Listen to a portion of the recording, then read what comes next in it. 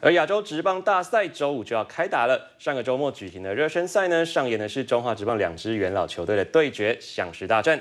这场比赛被视为是黄山军转卖前的告别战，也吸引了将近两万名的球迷来进场支持。对这场相对的告别战呢，从比赛开打之前就充满了浓浓的离别气氛，包含了在兄弟待了十五个年头的首席教练林明宪，更不舍得留下了男儿泪。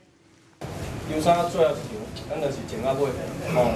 昨天前半都讲过了，最后一场专专上兄弟的球衣哦，秉持我们的精神，继续的在球场上奋斗。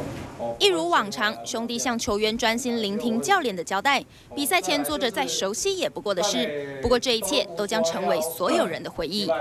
十一月九号的亚职热身赛是兄弟相对的告别战，尽管气氛很不一样，但是拉筋、跑步每一个赛前的热身项目还是不可以马虎。大家都知道，只要穿着黄衫上场比赛，就是一种荣誉。穿上这件球衣，你只要站上，人家知道是你的名字，看到你的背号就知道是你。所以我会觉得穿上这件球衣是非常骄傲的。从小我就看他们打棒球啊，然后也是因为看他们打棒球，所以才喜欢兄弟嘛。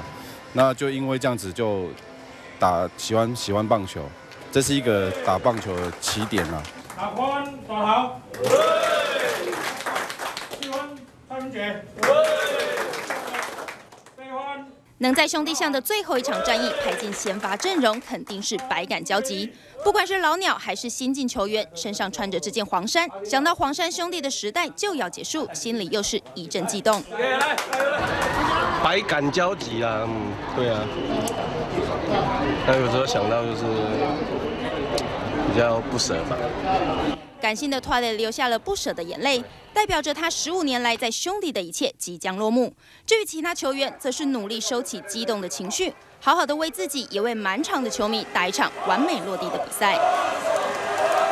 联合报系黄丽华、吴家佑桃园报道。